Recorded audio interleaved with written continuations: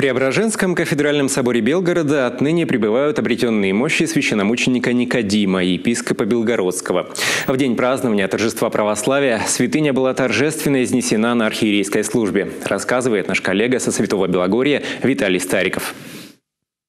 Церковь празднует торжество православия в память о восстановлении почитания икон на Седьмом Вселенском соборе, как победу православия над неправославием. Церковь молится об утверждении в вере православных христиан и обращении на путь истины всех отступивших от церкви. На особом молебне провозглашаются анафемы еретикам и многолетие защитникам православия. В этот день на Белгородчине произошло событие, которое войдет в духовную историю Святого Белогорья. В Преображенском кафедральном соборе впервые были изнесены для поклонения верующих недавно обретенные мощи священномученика Никодима, епископа Белгородского. На Белгородскую кафедру епископ Никодим Кононов был назначен накануне прославления святителя Иосафа. Он провел большую исследовательскую работу и составил житие святителя, написал ему Акафист. Белгородцы запомнили епископа Никодима как пламенного проповедника Слова Божия, защитника православия. 10 января 1919 года большевики расстреляли епископа, обвинив в контрреволюционной деятельности. После взятия Белгорода добровольческой армией тело святителя торжественно перезахоронили в склепе у северной стены Свято-Троицкого собора – на Архиерейском соборе 2000 года епископ Никодим Кононов был причислен к лику святых как священномученик.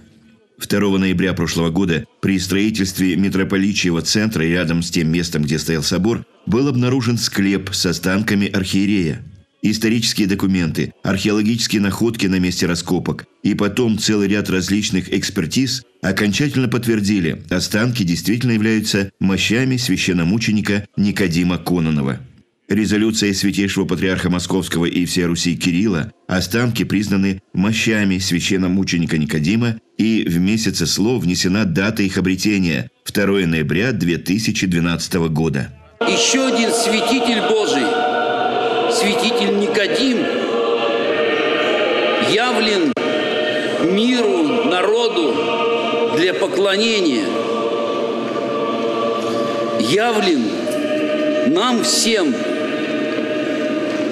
унылым, сомневающимся, для укрепления веры. В наши дни, когда безверие, безразличие, окаменелое бесчувствие обладает людьми, это событие для всех нас, как Божие благословение, быть твердыми в вере, уповать в своей надежде, что обетования Божие сбудутся, если мы приложим к этому усилию. Мощи священномученика Никодима временно будут пребывать в Преображенском кафедральном соборе, а по окончании строительства митрополичьего центра на историческом месте их принесут в Свято-Троицкий храм, который войдет в новый комплекс. Виталий Стариков, Артем Антонов, Вести Белгород для телекомпании «Союз».